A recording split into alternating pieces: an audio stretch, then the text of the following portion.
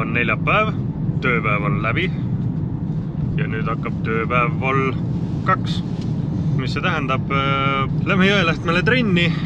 algul on kaks tundi teeme ise trenni ja siis äh, kell kuus hakkan ma andma teistele näpunäiteid. Enduro on vähe kodusem mulle kui need äh, krossirajad, mis ma olen nüüd see aasta tubli kaks tundi endale mootorrattale peale sõitnud. klubikaaslastele ja sõpradele vähekene kehva trennikaaslane olnud, et ma see aasta pole metsa saanudki mootorrattaga, aga nüüd täna on siis esimene päev. väga ootan, et äh, metsas on ikka vähe kodusem ja, ja äge seal üle kivide ja palkide ja mägedes möllata. Priit Raid äh, jõuab ka minuga suht samal ajal. klubikaaslane ja sõber. et teeme paar tundi trenni ja, ja, ja siis ma juba hakkan teistele vähe näpunäiteid jagama. Oi.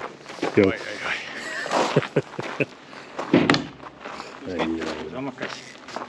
nüüd peale mõõdakat või, lõpuks? ei lõhtu ka. veel rattavahetuseks ka või? ainult tõsi. sa oled nagu professionaalne enduromees. mis mõttes nagu? aa, oledki või?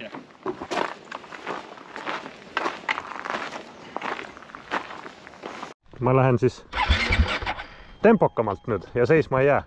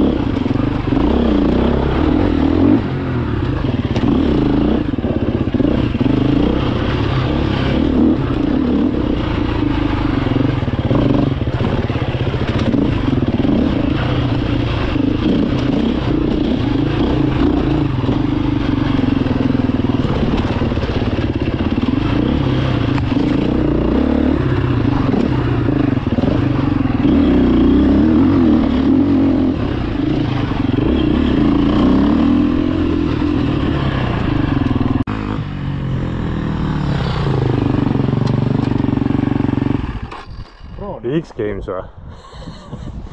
X-Games mode. kõik titi-miti? jaa.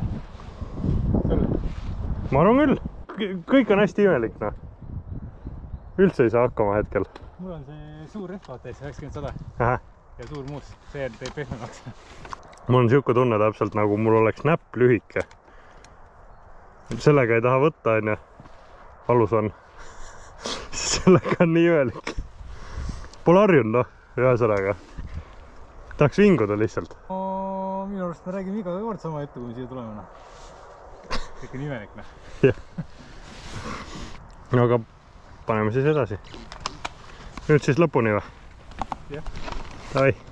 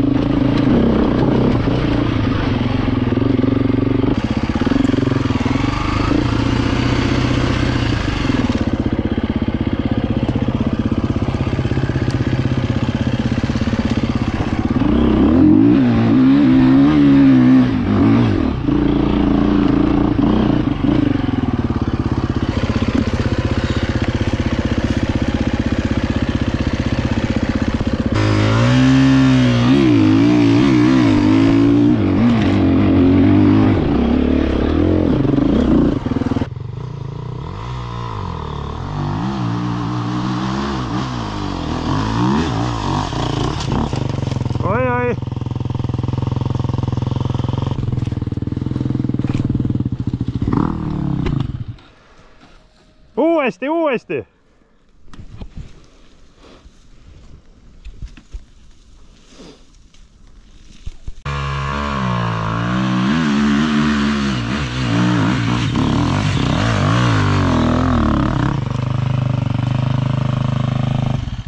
teine tahtnud võtta jalga ära sealt. ma nägin jah. toetuspunkt oli väga hea.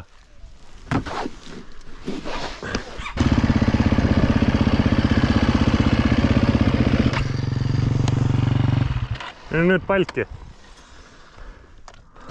ma ei tea. ei ole täna sellist sisu.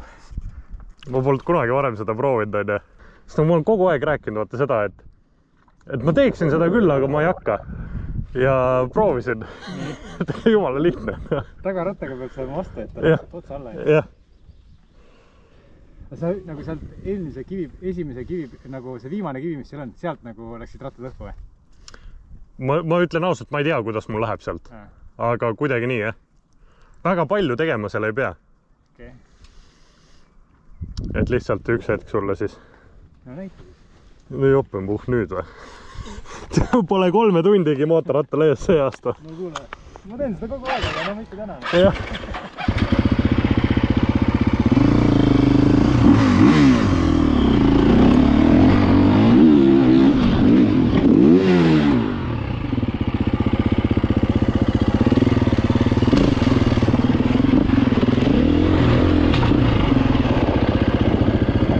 mul oli isegi hoog liiga suur.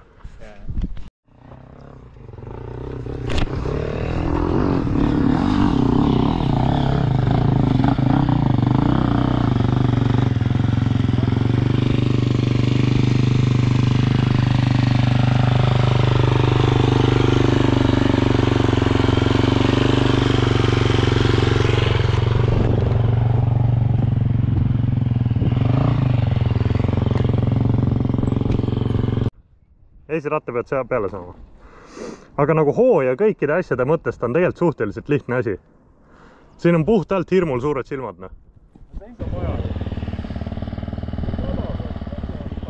on ju? muidugi, mina kõrguses ikka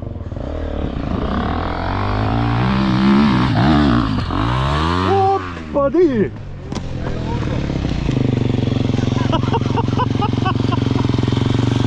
kõik korras või?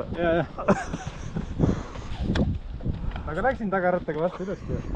natuke liiga palju. gaasi maha. korraks, korraks siduriga vist ka veel aidanud oleks. ei no vlogimaterjal on super.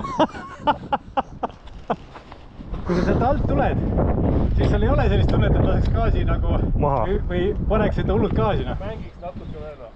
ei, lihtsalt selline tunne, et ta nagu noh, ta hakkab nagu üle tõmbama, et sa ei taha nagu gaasi panna. lased nagu gaasi maha ja no,. Priidul läks ka nii, aga noh, mitte üle pea. Pille ei terveks või? ja, ja. ei muidugi, ilusti leita peale. ühe otsaga teise võid täpselt keskele. keeras lihtsalt rullis üle ja aga jah, vähemalt sa ei tea video. ma oleks võinud siin üleval ainult olla, oleks veel parem olnud.